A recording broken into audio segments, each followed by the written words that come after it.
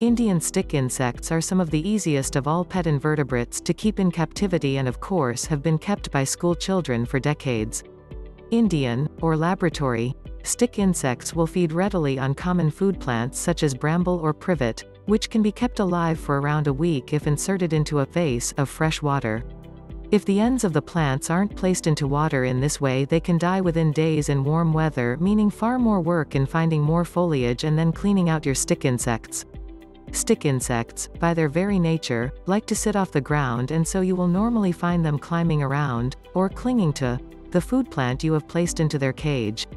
Because of this a taller rather than longer cage is recommended where your stick insects will be able to molt successfully by gently slipping out of their old skins. Old aquariums can be used as caging, or there are a huge range of specialist cages now available such as those made for butterfly breeders to keep and rear various butterflies and moths in. Size-wise, try to find a cage at least twice as tall as your largest insect is long.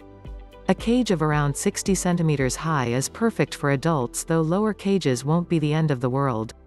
So you have your cage and you have placed some food plant in there in a small container of water such as an old jam jar.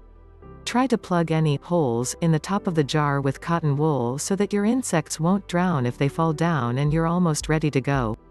Of course stick insects climb and so a tight-fitting lid is very important to prevent escapees. Besides this Indian stick insects can be kept at room temperature in a centrally heated home all year and so do not require any additional heat.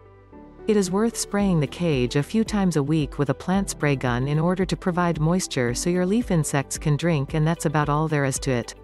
Appreciate that Indian stick insects reproduce asexually, that is that virtually every specimen you find will be a female and will reproduce without you needing any males so many people find that their population of Indian stick insects grows at an astounding rate. Because of this, try to start out with a reasonably small population or you could be spending more time trying to find homes for all your babies than actually enjoying your insects. Richard Adams